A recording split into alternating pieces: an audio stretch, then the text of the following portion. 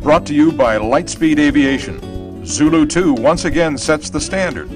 And by Phillips 66, the most trusted wings in aviation.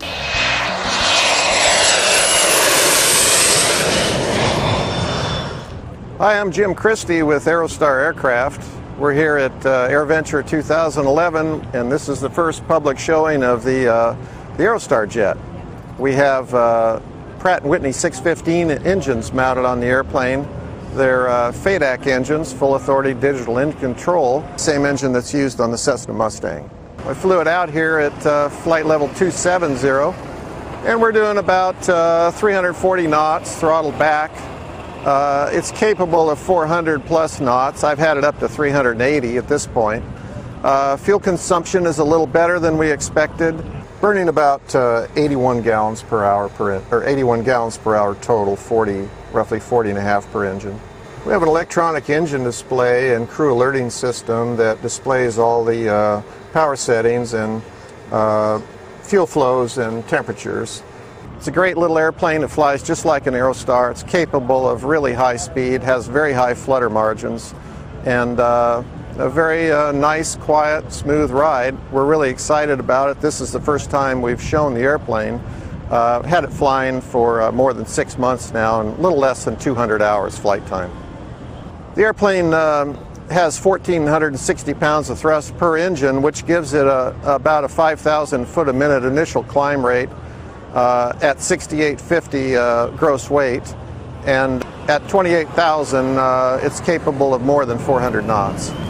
The uh, takeoff and landing speeds are the same as the piston airplane.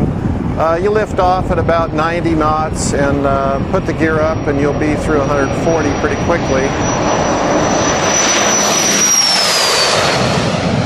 Climbing at 160 knots, you're doing 5,000 feet a minute initially. You have a little more of a, a pitch up when you power up on this airplane, and uh, but that's the right way to go. Like the Boeing uh, people have said, you'd like for the airplane to pitch up slightly when you bring in the power, and when you pull the power off, pitch down slightly, and that's exactly what this airplane does. Approach speed for the airplane is about 120 knots downwind, uh, or about 120 on an ILS approach. Uh, then you go to full flaps, you slow to 100 knots, and uh, you touch down about 80, 85 knots. It's lighter than the piston airplane, so braking is no problem. There's very little residual thrust, and it's very easy to get stopped. We plan to uh, certify this airplane as either a retrofit or a new airplane, and we can certainly do retrofits on our own, and we have here a conforming flight test, FAA flight test airplane, which means we can roll right into certification flight testing with the FAA uh, with this airplane.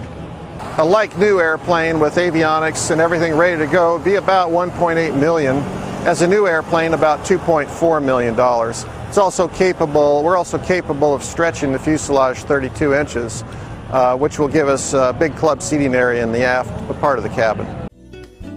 Brought to you by Lightspeed Aviation. Zulu 2 once again sets the standard.